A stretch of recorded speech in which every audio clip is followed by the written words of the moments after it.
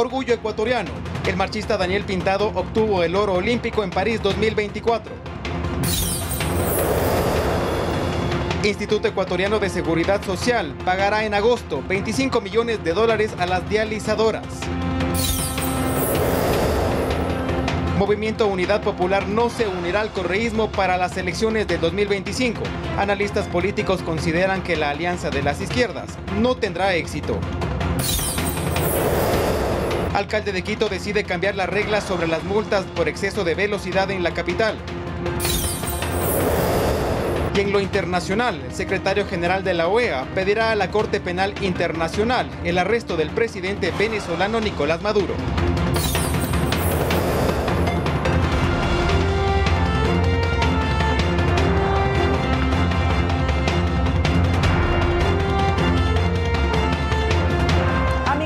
Noches, bienvenidos a la emisión estelar de Noticias 7. Gracias por acompañarnos y como siempre los invitamos para que nos sigan a través del telégrafo.com.es, ecuadortv.es, en el dial de Pública FM y a través de nuestras redes sociales. Sofía, ¿cómo estás? Buenas noches. María Mercedes, amigos, muy buenas noches. Ahora en sus pantallas podrán ver un código QR y los invitamos a escanearlo con su teléfono celular para acceder a información actualizada y verificada que tiene para ustedes el telégrafo digital. Aquí iniciamos.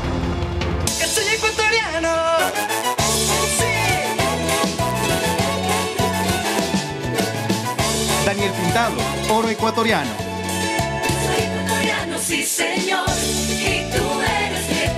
Y empezamos con la noticia más importante para los ecuatorianos. El machista Daniel Pintado obtuvo el oro olímpico en París 2024. El compatriota hizo historia al ser el primer deportista de nuestro país en ganar una presea en el presente certamen. Para conseguir este logro deportivo tuvo que alejarse de lo más preciado para él, sus hijos. razones para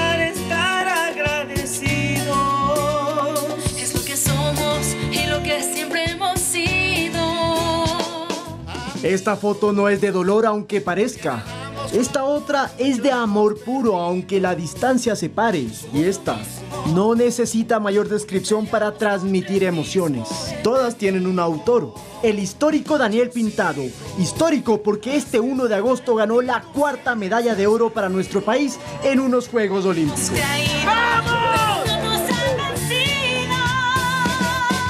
Llegar a la gloria deportiva no fue de la noche a la mañana. Son días enteros de entrenamiento, de estar alejado de sus hijos Nicolás y Monse, de pensar en el retiro por una enfermedad gastrointestinal. Vamos, Ecuador. Hasta que al fin ese esfuerzo da sus frutos desde lo más alto del podio y con la majestuosa Torre Eiffel a sus espaldas. Lo pensaba en mi mente, decía, ¿cómo será que todo el Ecuador se levante y sea tendencia que, todo el mundo sepa de mí y que mis hijos cómo lo podrán asimilar que su papá es el campeón olímpico? La respuesta de eso último está en este conmovedor video desde Cuenca, donde dos pequeños de 10 y 4 años se desvelaron en la madrugada para ver a su padre en París soy ecuatoriano. Sí, señor. Soy tu lucha, tu alegría. Para el atleta ganador de los 20 kilómetros marcha, estos dos niños fueron su motor para no desfallecer en el camino. Sacrifiqué mucho, estuve cinco meses fuera del país sin ver a mis hijos. A la final valió la pena y esta medalla va para mi hijo, para mi hija, para mi familia y en general para los 18 millones de ecuatorianos que se atrevan a soñar que es posible. Con su marca de una hora, 18 minutos y 55 segundos, Brian Daniel Pintado, de 29 años, también le trajo alegrías a todo un país. Y ahora es a él a quien llaman a felicitar, como lo hizo el futbolista Moisés Caicedo. Muchísimas gracias pues, y éxitos en esta temporada con el Chelsea, a, darle todo, a demostrar que de lo que estamos hechos de ecuatorianos. La delegación tricolor también le festejó la primera presea hasta el momento en París para nuestra delegación. Que su esfuerzo sirva de ejemplo para que el Ecuador en todo sentido coseche más éxitos. Lautaro Andrade Castro, Noticias 7. Venezuela, tensión política.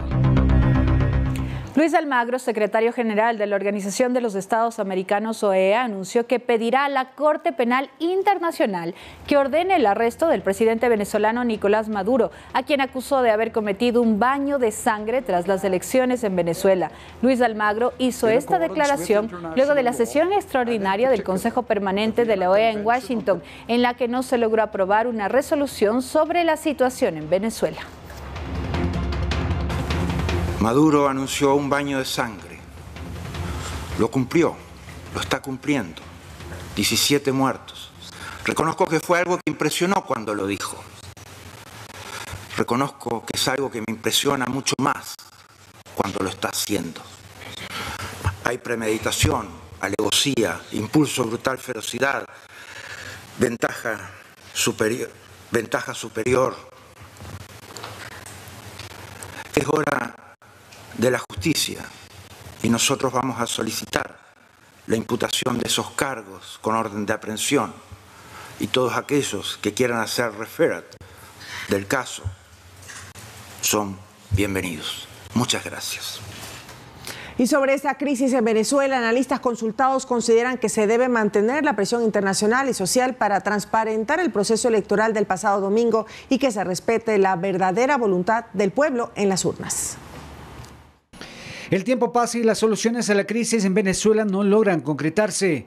La Organización de Estados Americanos en la reunión urgente realizada ese miércoles no alcanzó los votos necesarios para aprobar una resolución y exigir la transparencia en los resultados de las elecciones realizadas el pasado 28 de julio. ¿Cuáles son las alternativas que quedan entonces? Expertos consultados consideran que la presión internacional debe continuar en diferentes niveles como el aplicar sanciones y el desconocimiento de Nicolás Maduro como legítimo presidente de ese país. Consistencia de los 17 países que votaron ayer en la OEA. Esos 17 países deberían ya reconocerlo entonces a González como el presidente de la República elegido. Eso sería un gran paso. Retirar a los embajadores de Venezuela y ser llamados a consultas, es la expresión en diplomacia, porque ¿cómo pueden estar ahí ante un presidente espurro? La posibilidad de recurrir a mecanismos de fuerza es un tema muy delicado y complicado, dicen los expertos, considerando la situación social en Venezuela, que lleva casi una veintena de personas fallecidas. Esperemos que no se llegue a eso y que el pueblo venezolano eh, pueda hacerse respetar ante Maduro. Difícil porque Maduro tiene los militares. Las dictaduras no caen eh, así, lo pidan pues eh, países extranjeros, etc. Tiene que ser dentro de la sociedad. Yo sé que es difícil. Sobre el pedido del secretario general de la OEA, Luis Almagro, del arresto de Nicolás Maduro, señalan que ya existe un proceso contra él en la Corte Penal Internacional y debe seguir su curso. Eso va a tomar tiempo. La presión debe continuar sobre el gobierno de Maduro. Venezuela es el primer país de América Latina que se le abrió un proceso en la Corte Penal Internacional. En cualquier caso, insisten en que las soluciones deben ser urgentes. Romel Garzón, Noticias 7. Regresamos con noticias de nuestro país. El Movimiento Unidad Popular anunció que no se sumará al correísmo en la Alianza de las Izquierdas, que busca pactar un candidato para las elecciones del 2025. De su parte, analistas políticos consideran que dicha alianza no tendrá éxito, pues el correísmo está salpicado en casos de corrupción y los demás partidos también han estado relacionados con presuntas irregularidades. Poco duró los diálogos de las izquierdas, pues en menos de 24 horas ya se registra su primera baja. La mañana de este 1 de agosto, el movimiento Unidad Popular descartó tajantemente algún tipo de alianza con el correísmo para las elecciones generales del 2025. Nosotros somos partidarios de unir a organizaciones sociales, a las fuerzas democráticas y de izquierda. Esa unidad sí, unidad con el correísmo absolutamente no. Pero para entenderlo mejor, pongámonos en contexto. La tarde del pasado 31 de julio en la Casa de la Cultura se reunieron representantes de partidos de izquierda con el fin de buscar alianzas para proponer a un candidato en común para las presidenciales del próximo año. Allí participó la Revolución Ciudadana con Luisa González, junto al presidente de la CONAIE, Leonidas Sisa, conocido por encabezar los paros de octubre del 2019 y 2022, que dejaron millonarias pérdidas y víctimas mortales. Y recordemos que tan solo hace dos meses, Isa rechazaba cualquier tipo de alianza y culpaba directamente a Rafael Correa. Pero asimismo debo rechazar mientras la presidenta de un movimiento llama, necesita, ¿no cierto?, un diálogo, al siguiente día cae a dinamitar el expresidente este, Correa. De su parte, el analista político Ramiro Rivera ve dicha alianza con dificultad. Primero, porque el correísmo está salpicado en innumerables casos de corrupción, como sobornos, Odebrecht, metástasis, entre otros. Desde las elecciones del 2009, el correísmo llega al proceso electoral bastante diezmado. Ya sabíamos que se trata de, un, de una organización política vinculada al mundo de la corrupción. No hay acto de corrupción de no aparezca alguien vinculado al señor Correa. Ya sabemos que lo único que persiguen es la impunidad. Incluso el mismo Correa rechazó dicha reunión en sus redes sociales, donde aseguró que participar con cualquiera, por ser de izquierda, es un grave error. Como tiene un inmenso ego, él no va a tolerar que minúsculas organizaciones políticas, como el vetusto Partido Socialista y algunas otras organizaciones que por sí sola difícilmente llegarán al 3%, no va a permitir que se unan a él. Entonces no va a permitir Correa que el 20% de él sea también el 20% para Pachacuti también el 20% para el viejo Partido Socialista. Otro participante de la reunión fue Guillermo Churuchumbi de Pachacutic, denunciado ante el Tribunal Contencioso Electoral por campaña anticipada y a quien en 2023 se le abrió una investigación por presuntos cobros ilegales a funcionarios municipales en la alcaldía de Cayambe. También estaba Jimmy Jairala de Centro Democrático, quien ya ha participado por diferentes frentes en elecciones pasadas, aunque sin éxito, y que también fue investigado por presuntas irregularidades cuando era prefecto del Guayas. La alianza finalizó sin acuerdos de peso. Lo único que se estableció son mesas de trabajo para continuar con los diálogos. Edison Saavedra, Noticias 7. Las encuestas mantienen al presidente Daniel Novoa como uno de los principales opcionados para la elección presidencial del 2025, Sofía. Ahora le damos paso a Lautaro Anrada de María Mercedes para conocer los más recientes resultados. Así que adelante, Lautaro, te escuchamos.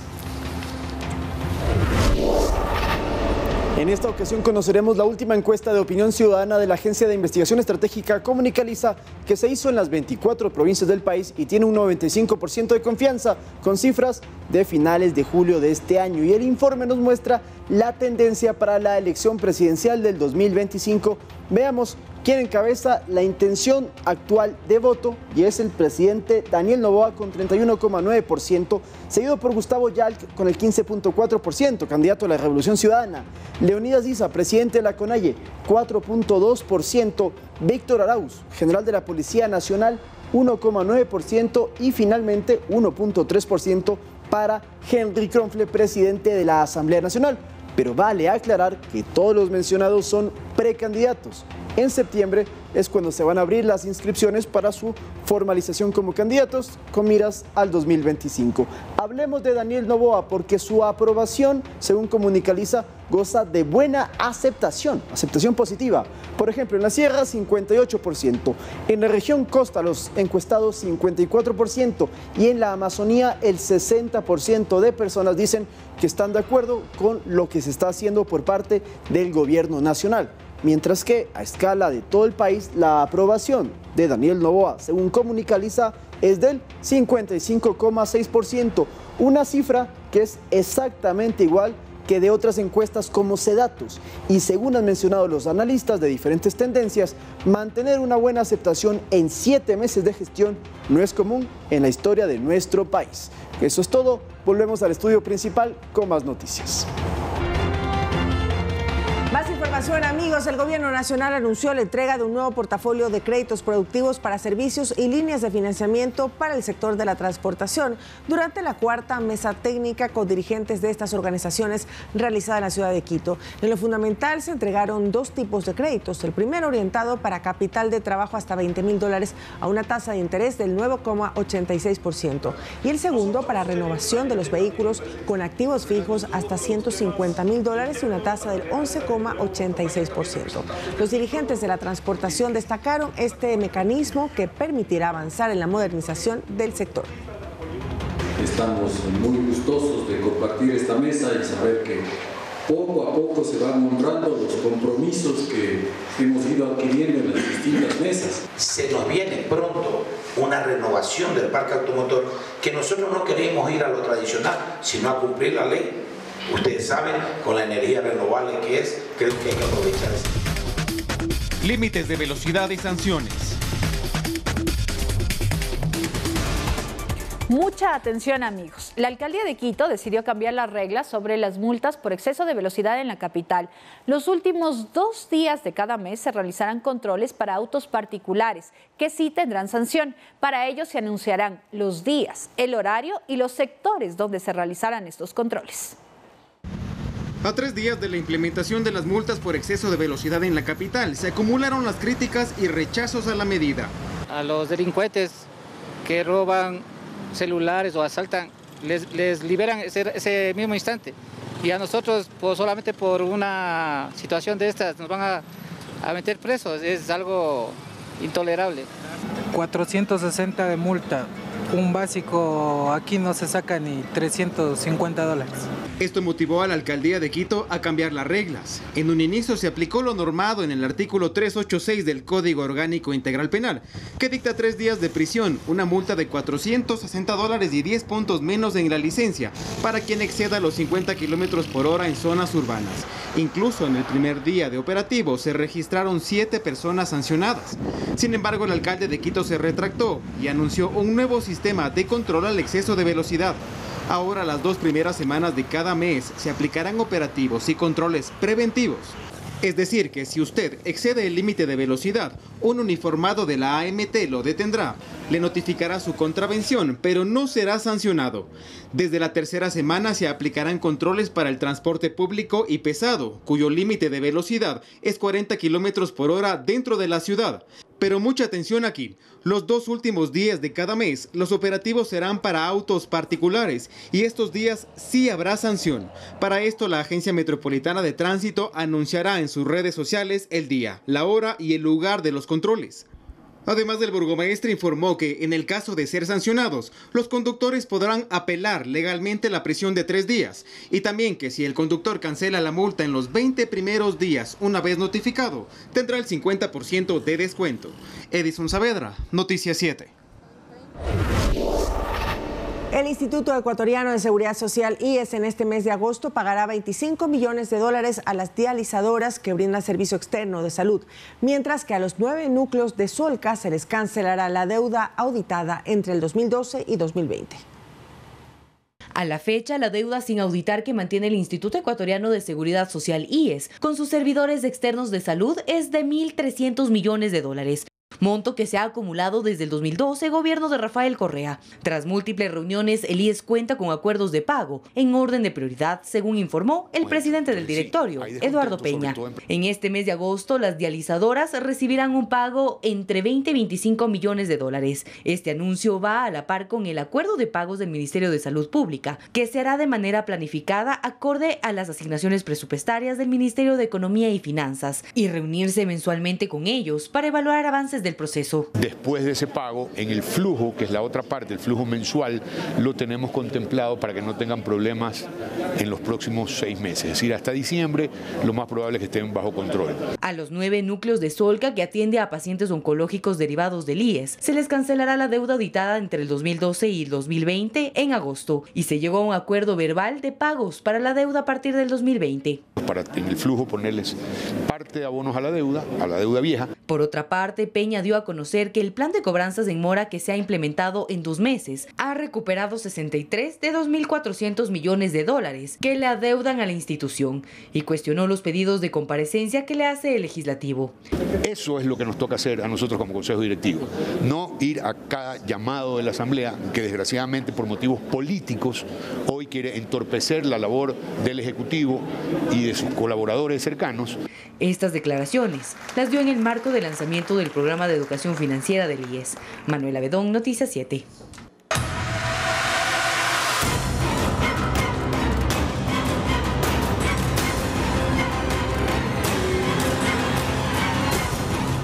Guerra contra el terrorismo.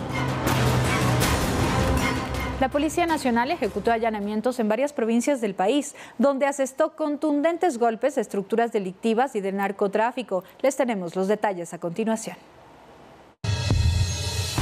En la operación Cero Impunidad 7 se ejecutaron 14 allanamientos en 7 provincias con los siguientes resultados.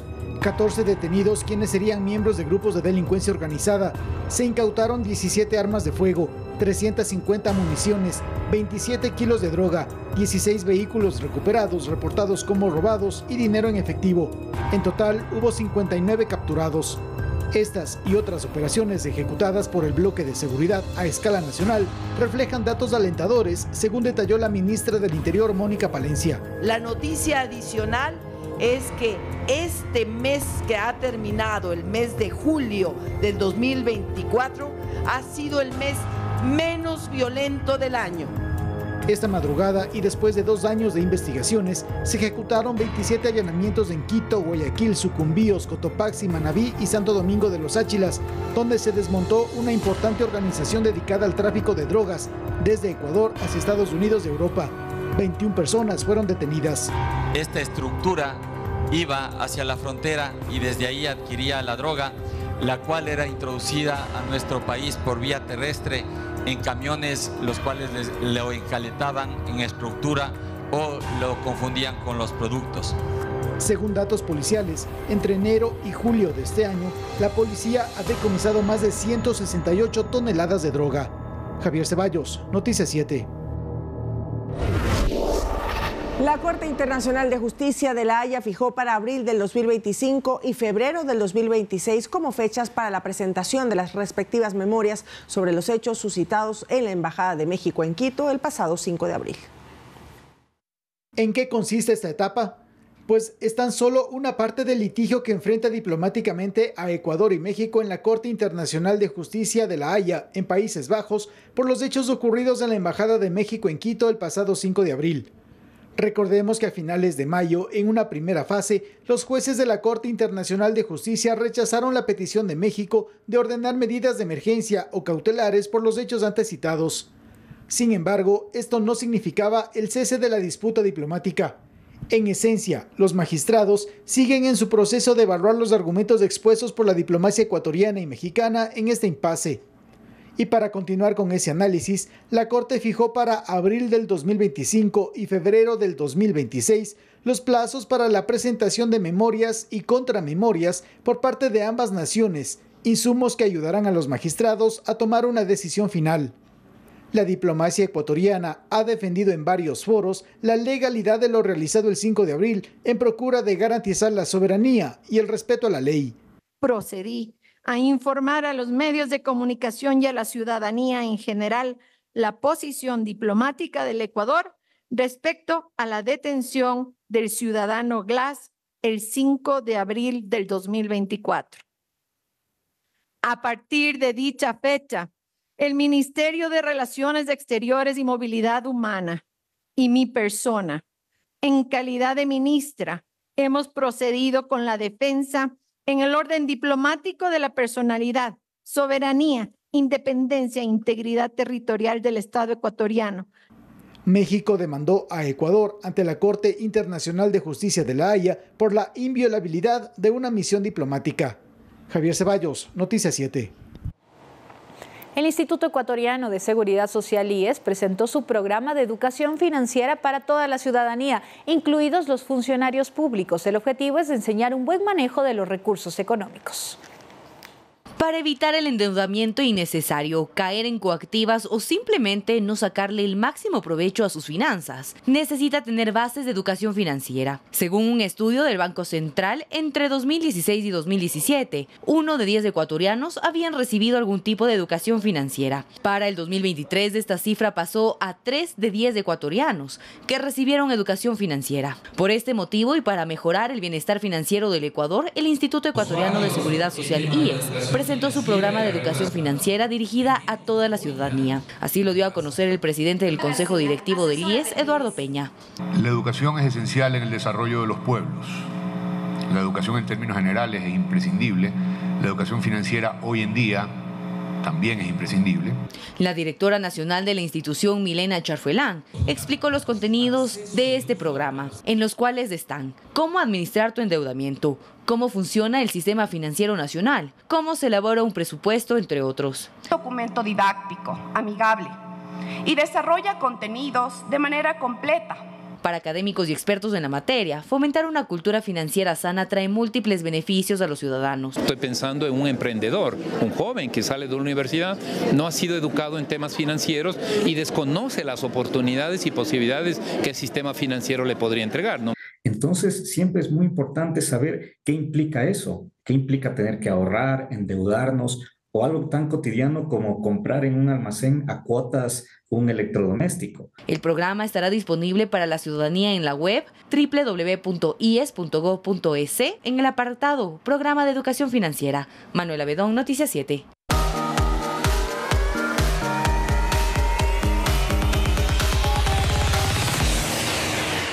¿Ha escuchado alguna vez de la cirugía energética? Bueno, algunos testimonios aseguran que gracias a ella se han podido curar de algunas enfermedades y mejorar su nivel energético. Pero ¿cómo se hace y en qué realmente consiste? Se lo contamos de inmediato. Haz una meditación, conéctate con Dios y di en tu mente, Dios, lo que no es mío, llévese a la luz. Con esa frase, Alejandro Gómez, sanador energético, arranca lo que él llama cirugía energética, una especie de intervención sin un solo bisturí o una aguja. Aquí no existe la anestesia ni el desfibrilador. Aquí se curan enfermedades a base de reencauzar energéticamente al cuerpo, un don, dice él, que se le da desde que tiene 8 años. Eh, justamente no es una técnica aprendida, es una técnica desarrollada porque todos nacemos con un talento, nacemos con habilidades. Entonces mi primera sanación fue a los 8 años de edad. Después de eso, y medio entre entenderlo y no tanto, Alejandro fue desarrollando una especie de manejo energético con el que ayuda a muchas personas con el fin de equilibrar chakras y energías, desbloquear lugares neurálgicos del cuerpo únicamente con sus manos y este tipo de movimientos. Canalizo tu propia energía. Entonces, yo le llamo cirugía energética porque corto, abro, reparo y salgo. Entonces te hice en el cerebro, en el corazón, en la comunicación, en la columna. Entonces fui parte por parte para que se vaya reactivando y canalizando la energía. En este consultorio nos dice, se cree en Dios y en la medicina tradicional también. Ningún tratamiento será exclusivo, sino más bien complementario. Y es que eso de las energías está ya científicamente comprobado. La energía se estanca, enferma tu cuerpo. O sea, así de simple. Y bueno, lo dijo Einstein, la energía muta y se transforma. ¿Y qué mejor manera entonces para ayudar a transitarla que canalizándola con alguien que de esto sabe desde hace más de 30 años? Cada 1 de agosto se celebra el Día de la Pachamama o la Madre Tierra, un día que sirve para la concienciación de la naturaleza y sobre todo el agradecimiento de todo lo que nos da la Tierra y sus ecosistemas. Se ha preguntado cuál es el sonido de la naturaleza. El sonido de la Pachamama. Bueno, es el de los árboles, el del viento, el de los pájaros, el de los animales y el de los ríos. Ese es el sonido de la Pachamama. Nuestra tierra, nuestras costumbres, nuestra casa, es tan importante que sin ella simplemente no existiríamos. Y por eso es que cada 1 de agosto los pueblos andinos de América del Sur celebran el Día de la Pachamama o Madre Tierra para dar las gracias por el buen tiempo, la abundancia, los animales y la cosecha. Esta tradición se celebra en las regiones andinas de Colombia, Ecuador, Perú, Bolivia, Chile y Argentina, pese a que cada pueblo ha adaptado los rituales del Día de la Pachamama a su particular región. Todos comparten el principio de reciprocidad y la intención de agradecerle a la Madre Tierra todo lo que les ha dado durante el último año. De esta manera, la comunidad se vincula a lo ancestral, a la diosa Pachamama e incorpora la importancia de la naturaleza en el transcurso de la vida. Y es que, ¿cómo no hacerlo? ¿Qué vive entonces la Pachamama? Ahora Ecuador entra en la lista de los países amigables para la tierra, el momento de la siembra y la cosecha, un mérito que le ha valido entrar con productos como el cacao y el café en mercados europeos muy exigentes. Por si no lo sabía, siempre que alguna comunidad agrícola va a plantar alguna especie, es necesario preparar la tierra. Y en muchos casos, eso significa deforestar importantes espacios montañosos, por lo que ahora existen diferentes normas y reglas internacionales para que cada labor sea más amigable con el medio ambiente. Y ODS es el caso de los programas Proa Amazonía y además Pago por Resultados, desarrollados bajo el Mecanismo Internacional de Reducción de las Emisiones y de la Deforestación y degradación de bosques. Y a partir de eso, Ecuador se ha convertido en uno de los países pioneros en el mundo en la producción sostenible y libre de deforestación, con el café y el cacao como sus grandes emblemas. Este último producto, además, vive un boom por los altos precios que se alcanzan. Un dato importante es que con más de 93 mil hectáreas dedicadas al café, cacao, palma aceitera y ganadería, se ha pasado a una protección sostenible al evitar la tala de más de 86 mil hectáreas para nuestros cultivos. Un resultado realmente importante, motivo por el que se abren diferentes posibilidades comerciales con Europa, entendiendo que hay países que ponen como prioridad la forma de siembra y cosecha. Hasta el momento, 34.5 toneladas de café fueron compradas por la firma italiana Lavazza, que el 30 de septiembre presentará en Turín, Italia, la primera marca de café libre de deforestación y 10.8 toneladas de cacao adquiridas por la empresa belga Silva Cacao. Así entonces, en esfuerzos comunes entre nacionales e internacionales y además capacitaciones privadas y estatales, el Ecuador va siendo ejemplo a nivel sudamericano de responsabilidad con el medio ambiente. Continuamos con buenas noticias. El Ecuador fue sede de la segunda conferencia ministerial del eje comercial de la Alianza para la Prosperidad Económica en, las Américas, una iniciativa que agrupa a 11 países con el propósito de fomentar el crecimiento productivo, inclusivo y sostenible. La conferencia ministerial del eje comercial de la Alianza para la Prosperidad Económica en las Américas se realizó en Quito. Ecuador es la sede en este encuentro que busca fortalecer la productividad de las naciones de una manera inclusiva y justa. La mejora en los procesos de facilitación del comercio y el trabajo mancomunado por mantener cadenas de valor y suministro sostenible no solo mejora la calidad de vida de nuestros pueblos, sino que también hace más resiliente nuestras cadenas de suministro frente a los desafíos globales y crisis económicas. La idea de reunir a los ministros del eje comercial nació en Estados Unidos en el 2023. Ahora los representantes de 11 países, Barbados, Canadá, Chile, Colombia, Costa Rica, México, Panamá, Perú, República Dominicana y Uruguay, elaboraron una hoja de ruta que con frecuencia será revisada para lograr generar una unión productiva. Podemos construir una región próspera y más justa, por lo que les invito a unirse en este esfuerzo común, porque todos somos más fuertes juntos. Durante el encuentro, Ecuador aprovechó la oportunidad para continuar estableciendo acuerdos comerciales. Según las autoridades, una de las metas gubernamentales es promover el desarrollo económico. Esta iniciativa busca fomentar el crecimiento económico y reducir las desigualdades sociales así como fortalecer las estabilidades políticas en nuestra región. En esta conferencia ministerial se involucró a pequeños y grandes productores, tomando en cuenta cada realidad para establecer canales de intercambios justos, sostenibles, donde también se precautele el medio ambiente. Sofía Vintimilla, Noticias 7.